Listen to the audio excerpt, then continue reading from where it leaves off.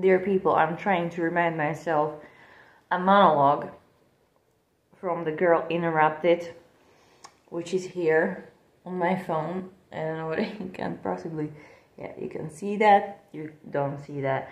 So I'm going to try what I remember. I am sitting here like a frog, like this, um, on the sofa, in order to have this kind of a shot for you. so, help me understand, Daisy.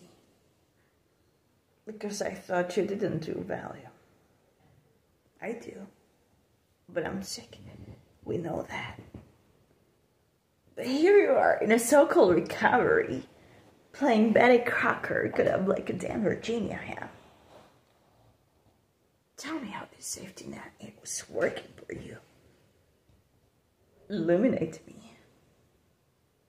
Tell me, your daddy loves you? I bet he does, with every inch of his manhood.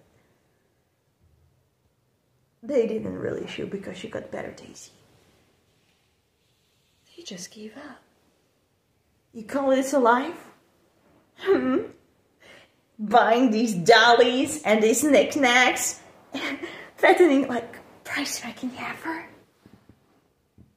You changed the scenery, but not the fucking situation and the war that makes house calls. And everybody knows. And everybody knows. He fucks you. But what they don't know, that you like it. Are you like it? Oh man, it's fine. It's fucking fine. Dad, Valiums, Speculum, whatever. Whatever. You like being Mrs. Wren. It's probably all you ever known, huh?